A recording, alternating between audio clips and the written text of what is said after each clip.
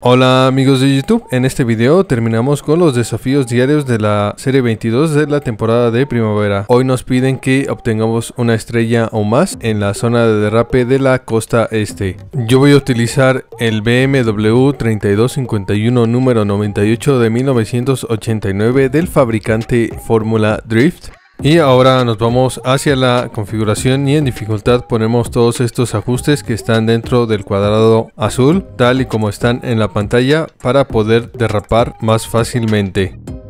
Ya nos podemos mover hacia esta zona de derrape y nos ponemos donde está mi cursor en el mapa.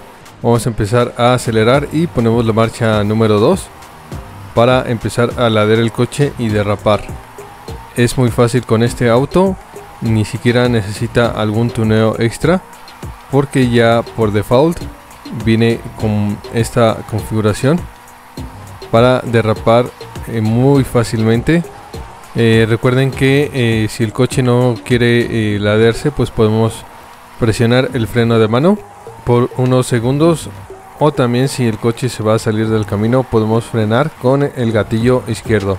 Y es así como hemos llegado ya al final de otro video. No olviden dejar su like, suscribirse si no lo están, activar la campanita y compartir este video con sus amigos.